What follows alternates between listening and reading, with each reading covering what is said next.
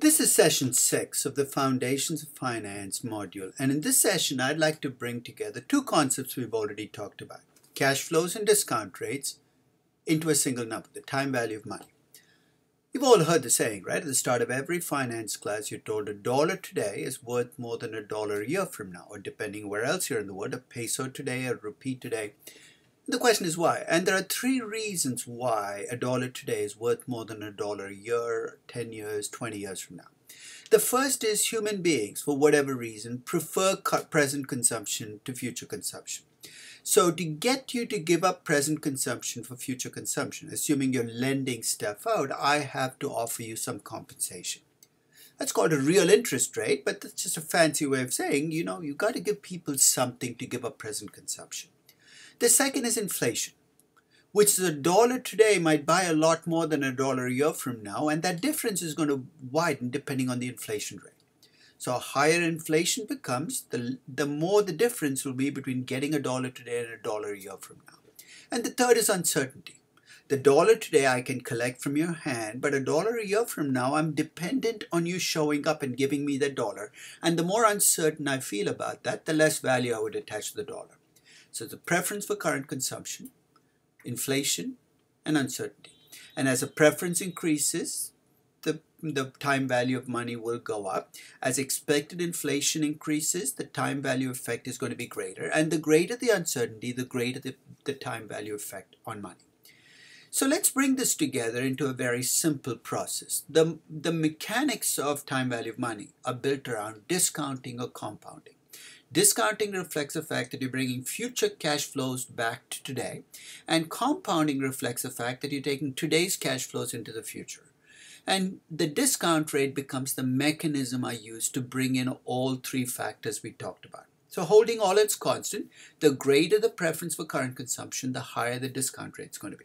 The greater the inflation rate, the higher the discount rate, and the greater the uncertainty, the higher the discount rate. Now that said, you can already see why currencies matter when you talk about cash flows. The value of a dollar today relative to a dollar a year from now will reflect the inflation rate in the dollar. But the value of an Argentine peso today and a peso a year from now will reflect the inflation rate in the peso. Currencies matter when it comes to discount rates because depending on the inflation rate in that currency, your discount rate will be higher or lower. And this is something we're going to come back and deal with more tangibly later in both the corporate finance and the valuation classes.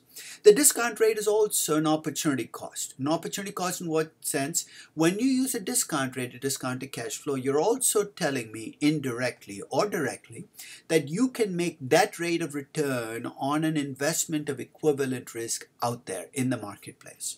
So when you go looking for discount rates, it's not about what you would like to make on an investment that drives it, it's what you can make on the next best investment of equivalent risk. So discounting brings future cash flows back to today. Compounding converts today's cash flows into future cash flows. So let's talk about some very simple present value principles and obvious ones. The first is if you gave me an investment with cash flows every year for the next 15 years, I can't add up those cash flows and give you any kind of answer because cash flows at different points in time are different types of cash flows. So cash flows have to be brought back to the same point in time. That can be either today or five years from now. But as long as you bring the cash flows to the same point in time, you can aggregate them, you can subtract them, you can you can net them out. The second is a good investment rule, whether it's in corporate finance as a capital budgeting rule or in valuation as an investment rule, should be based not only on how much you will get in cash flows from the investment, but when you get those cash flows. That's a discounting, a time value story. So let's talk about the mechanics of converting future cash flows into today. One of the uh, one of the contraptions that is useful in making this adjustment is what I call a timeline. Sounds fancy, but in a timeline, here's what you do: you draw time as a line. That's why it's called a timeline. And then you show me what you will get as cash flows at each point in time. So here, for instance, is a timeline of cash flows of $100 in cash flows each year at the end of each year for the next four years you're already going to see that when we talk about cash flows during a year, I need to specify where in the year you get those cash flows. Is it the start of the year, the middle of the year, the end of the year, or all through the year? In this case, these are $100 in cash flows each year at the end of the next four years. That's called an annuity. And that will let me then use the mechanism I have for converting annuities into present value. So with that set up, let's talk about the five types of cash flows that you might have to deal with. Know, in fact, every cash flow in finance, I'm going to argue some combination of these five types of cash flows. The first is a simple cash flow. What's a simple cash flow? I offer to pay you $10 million 10 years from now. That's a single cash flow in the future, simple cash flow. Then we're going to talk about annuities. Annuities are constant cash flows that occur at regular intervals. $100 a year every year for the next five years is an annuity. $60 a month every month for the next 24 months is an annuity. The third is a growing annuity. That's a little more daunting, but here's what a growing annuity will look like. $100 growing at 5% a year every year for the next 25 years. So next year I get 105, the year after I get 111, and a 5% growth rate every year for the next 25 years. That's called a growing annuity. And then you get to two measures of cash flows that are truly mind-blowing. The first is a perpetuity, a cash flow, a constant cash flow at regular intervals for the rest of eternity, forever. That's a perpetuity. $100 every year forever. The second is a growing perpetuity. $100 growing at 2% a year every year forever is a growing perpetuity. I'm going to talk about present value equations that work with each of these cash flows. And as I talk about them, you're probably going to wonder why I'm wasting my time because you have a present value function in your calculator. And it's true. Many people no longer use these equations to compute present values because it's already in the calculator. But I would suggest that you try these equations at least once or twice to see what's behind that PV button on your calculator. So let's start with a simple cash flow. You tell me you're going to pay, pay me 10 million 10 years from now. And you ask me, how much is it worth today? Here's what I need to do. I'll take the 10 million and I'll discount it back to today at whatever your rate of return is, whatever discount rate you have. So let's assume that your discount rate is 8%. And that includes your payment for present for giving up current consumption you're dealing with inflation and risk, they're all in there. I will take the 10 million and I will divide by 1.08. That's the 8% convert into a, into a, into a 1 plus r raised to the power 10. What I get as a present value will be well below 10 million. If I want to take 10 million today and move it into the future, I will do the reverse. I will take the 10 million and multiply by 1.08 raised to the power 10. As simple as that. Let's move on to something about cash flows that we talk about all the time, but we really don't grasp. We talk about the power of compounding and discounting, but until you actually see the numbers, I'm going to argue that you really will not capture that power. Let me give you an example. You have $100 million in revenues right now. Let's assume you project out a growth rate of 50% of that 100 million. That's going to be, uh, that'll mean that your revenues will go from 100 to 150 million. Eminently doable, right? Then you continue to use 50% the year after. Now your revenues have to go from 150 million to 225 million, a 75 million dollar increase. If you keep the revenues at 50%, you're going to see the co compounding effect very quickly start to make your number a really big number.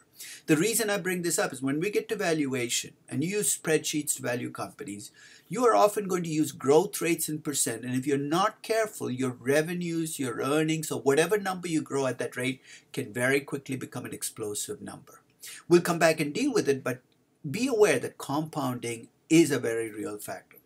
Conversely, when you're projecting a value 10 years out, which is often what you do in valuation when you estimate the value of a company 10 years out and you bring it back to today, don't be surprised to see a big loss in value.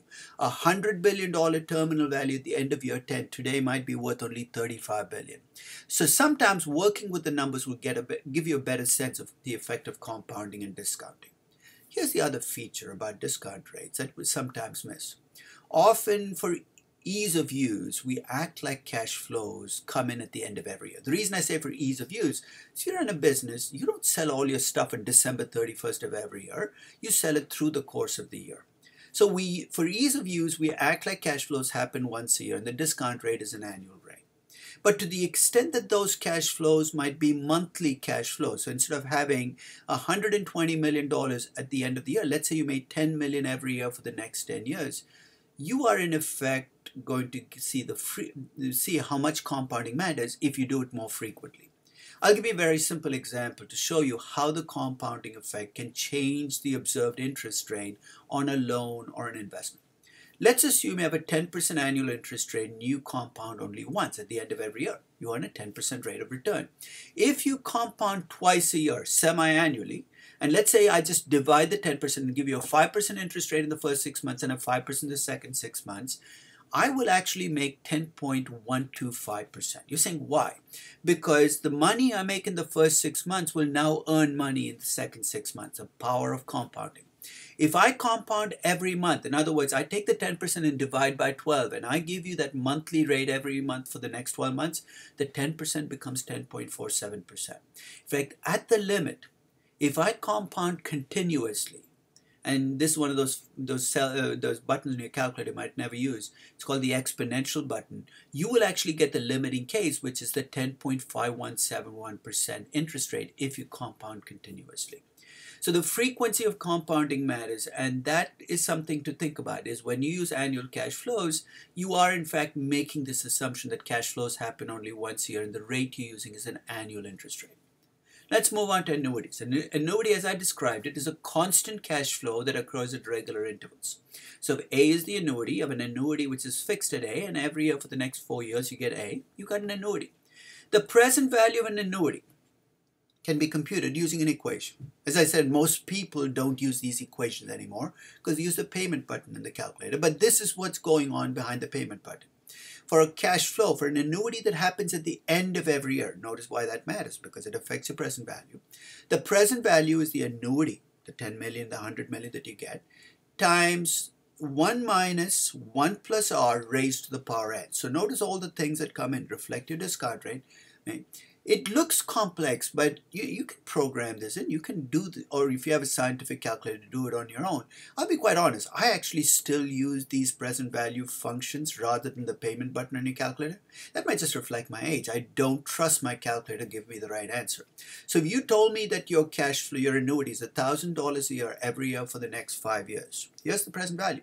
The 1000 is the annuity, the 10% is the discount rate. Notice it shows up as 0.10. What I get as a present value is 3,791 million. You're saying, how do I know that's the right number? Try this out. Take each cash flow, 1000 in year 1000, discount each one separately, add them all up, you should get exactly the same answer. Present values are additive. You can always check your answer. So that's an annuity.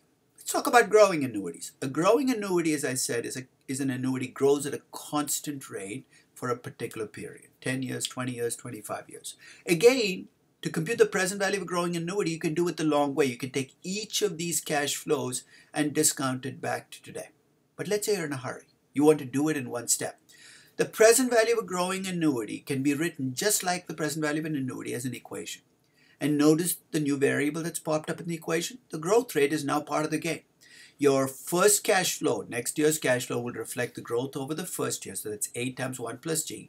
And inside the brackets, you see both the growth rate and the discount rate. When you have a growing annuity, the growth rate can actually be higher than the discount rate, and you're still going to be okay. So how can I be okay? G is greater than R, the denominator is going to be negative. When G is greater than R, your numerator will also be negative. This equation will work for any growth rate as long as it's a finite growth rate. So if you have a cash flow growing at 25% a year for the next five years, and your discount rate is 10%, try it out. Again, check your answer by discounting each cash flow separately back. The only the only scenario where it will not work is G is equal to R. So what, what do I do then? Remember, if G is equal to R, they cancel out. So if you have $100 growing at 10% a year for the next five years and your discount rate is 10%, the present value is going to be 5 times 100, 500. You don't even need to go through this calculation. Now let's talk about perpetuities. As I said, it's mind-boggling because none of us is going to be around forever. But if you have a cash flow that is fixed and it's going to be there forever, $100 each year forever. The present value of perpetuity is that $100 divided by the discount rate. So if your discount rate is 8%, 100 divided by 0.08 gives me $1,250. That's the present value of perpetuity. You see, what's the intuition? If you take that 1,250 and put it in a bank, and the bank paid you 8% every year, think of what you're going to get for the rest of eternity.